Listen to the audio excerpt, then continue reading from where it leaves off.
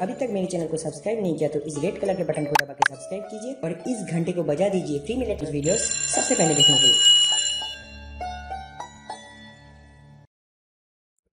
Hello दोस्तों, एक बार मैं फिर से अपने चैनल पर आपके लिए एक नई वीडियो के साथ।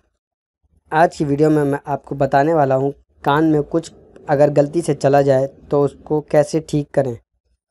कभी कभी खेलते हुए या अनजाने में बच्चे अपने कानों के अंदर पेंसिल तिली या ऐसी ही कुछ दूसरी चीज़ डाल देते हैं, जिससे उन्हें बहुत अधिक परेशानी होती है। बड़ों के कानों में भी सोते समय कोई कीड़ा या दूसरी कोई चीज़ें चली जाती हैं। जब तक ऐसी चीज़ें कान में से निकल नहीं जाती, तब तक कान में दर्द होता रहता है।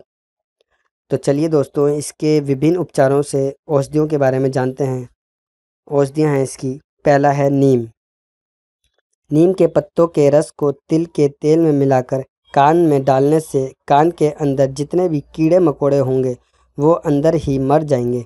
इसके बाद कान को किसी रुई से अच्छी तरह साफ़ कर लें। दूसरा है ग्लिसरीन।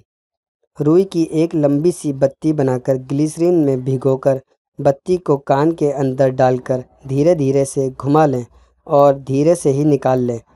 कान के अंदर अगर छोटे मोटे कीड़े मकोड़े होंगे तो वे बाहर आ जाएँगे। अगला उपाय है नमक। पानी में नमक मिलाकर कान में डालने से कान के अंदर से ज़िंदा या मरे हुए कीड़े मकोड़े बाहर आ जाते हैं। इसके बाद कान को रुई से साफ़ करके पंचगुण तेल की दो तीन बूंदें डालें। इससे लाभ मिलता है। अगला उपाय है शहद। रुई की एक बत्ती बनाकर शहद में भिगो लें और कान में डालकर धीरे धीरे से घुमाएँ।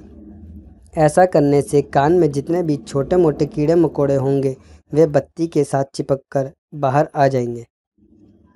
अगला है तिल। अगर नहाते समय कान में पानी चला जाए तो तिल के तेल को कान में डालने से लाभ मिलता है। अगला है अजवाइन। अजवाइन के पत्तों के रस को कान में डालने से कान में घुसे हुए कीड़े मकोड़े वहीं मर जाते हैं। दोस्तों, ये थी वीडियो कान में गलती से कुछ चला जाए उसको बाहर निकालने और कान को ठीक करने के लिए।